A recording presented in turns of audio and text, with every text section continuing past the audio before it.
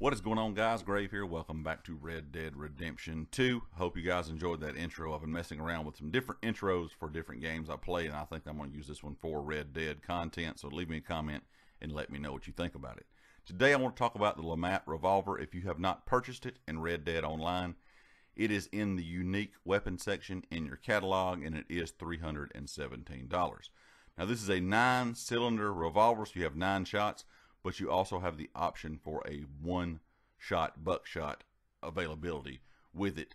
And how you do this is you hit right on the D-pad, it will manually swap over to that one shot buckshot.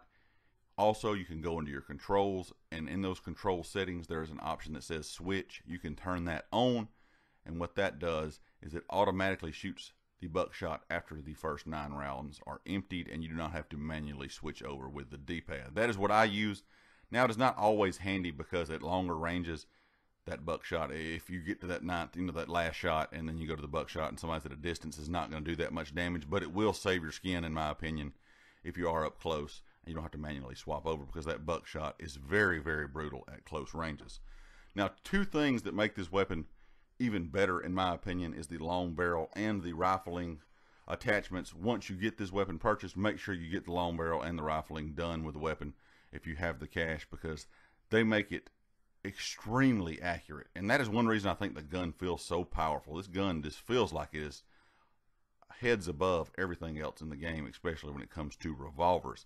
Now, I do have a website that gives you some kind of weapon stats for this. I will link it down in the description below. You can kind of take this with a grain of salt because some of these stats uh, they have some of these revolvers, they give a lot of the revolvers more damage than this weapon, and I don't know if I'm 100% sold on that. But I will link it down in the description below, nevertheless, so you can read over it for yourself. But out of 100, they give the damage a 50. The fire rate is 60. The accuracy is 68. The range is 50. And the reload is 58.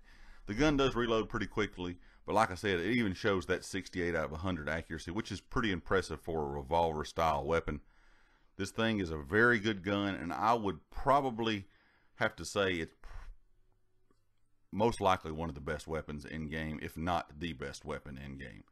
Leave me a comment, guys. Let me know what you think about the LeMat revolver and if you've got it yet and kind of your opinions on the weapon as a whole. And of course, if you like the video, hit the like. If you have not subscribed yet, please do so. And I'll catch you next time. Peace.